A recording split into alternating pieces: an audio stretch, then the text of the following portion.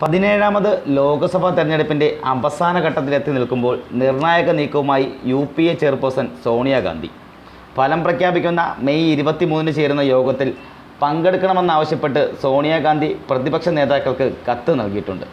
കത്ത് ലഭിച്ചതായി D M K വ്യക്തമാക്കി. യോഗത്തിൽ എം കെ സ്റ്റാലിൻ പങ്കെടുക്കുമെന്നും ഡി എം കെ അറിയിച്ചു. ഒഡീഷ മുഖ്യമന്ത്രി നവീൻ പട്നായിക്കുമായി സംസാരിക്കാൻ കമൽനാഥിനെയും മുതിർന്ന കോൺഗ്രസ് നേതാക്കളെയും സോണിയാഗാന്ധി ചുമതലപ്പെടുത്തിയിട്ടുണ്ട്. നേരത്തെ ഫോനി ചുഴലിക്കാറ്റിന്റെ പശ്ചാത്തലത്തിൽ മോദി നവീൻ പട്നായിക്കിനെ കണ്ടിരുന്നു. അഭിനന്ദനാർഹമായ പ്രവർത്തനമാണ് പട്നായിക്കിന്റെതെന്ന് മോദി പ്രശംസിക്കുകയും ചെയ്തിരുന്നു.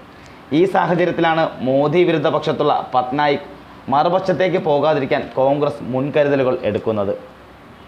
പ്രധാനമന്ത്രി പദം ഇല്ലെങ്കിലും മോദി വിരുദ്ധ എൻ ഡി എ വിരുദ്ധ പക്ഷത്തിനൊപ്പം നിലയുറപ്പിക്കുമെന്ന് തന്നെയാണ് കോൺഗ്രസ് പലപ്പോഴായി നിലപാടെടുക്കുന്നത്. അതിന്റെ തെളിവാണ് ഗുലാം നബി ആസാദിന്റെ പ്രസ്താവന. ലോക്സഭാ തെരഞ്ഞെടുപ്പ് ഫലം വന്നാൽ പ്രധാനമന്ത്രി പദത്തിന് വേണ്ടി വാശി പിടിക്കില്ലെന്നാണ് ഗുലാം നബി ആസാദ് വ്യക്തമാക്കിയിരിക്കുന്നത്. എൻ ഡി എയും മോദിയും വീണ്ടും അധികാരത്തിലെത്തുന്നത് തടയുക എന്നതാണ് കോൺഗ്രസിന്റെ ലക്ഷ്യം. എല്ലാ പ്രതിപക്ഷ പാർട്ടികൾക്കിടയിലും കോൺഗ്രസിന് വേണ്ടി ധാരണയുണ്ടായാൽ നേതൃത്വം പാർട്ടി ഏറ്റെടുക്കുമെന്നും മുതിർന്ന കോൺഗ്രസ് നേതാവ് ഗുലാം നബി ആസാദ് വ്യക്തമാക്കി. സഖ്യനീക്കങ്ങളിൽ ചലനമുണ്ടാക്കുന്ന നിർണായക പ്രഖ്യാപനമാണ് ഇതിലൂടെ കോൺഗ്രസ് നടത്തിയിരിക്കുന്നത്. മോദിക്ക് കഴിഞ്ഞ തവണ കിട്ടിയതുപോലുള്ള മൃഗീയമായ ഭൂരിപക്ഷം കിട്ടില്ലെന്ന് തന്നെയാണ് കോൺഗ്രസ് കണക്ക് കൂട്ടുന്നത്. ഈ സാഹചര്യത്തിലാണ് പ്രധാനമന്ത്രി പദമെന്ന ആവശ്യം പോലും ഉപേക്ഷിച്ച് മോദി വിരുദ്ധ മുന്നണികൾക്കൊപ്പം കോൺഗ്രസ് നിൽക്കുന്നത്.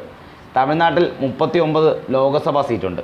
തെലങ്കാനയിൽ പതിനേഴ് ആന്ധ്രാപ്രദേശിൽ ഇരുപത്തിയഞ്ച് കേരളത്തിൽ ഇരുപത് കർണാടകയിൽ ഇരുപത്തിയെട്ട് എല്ലാം ചേർത്താൽ നൂറ്റി ഇരുപത്തി ഒൻപത് സീറ്റുകൾ ഉണ്ടാകും.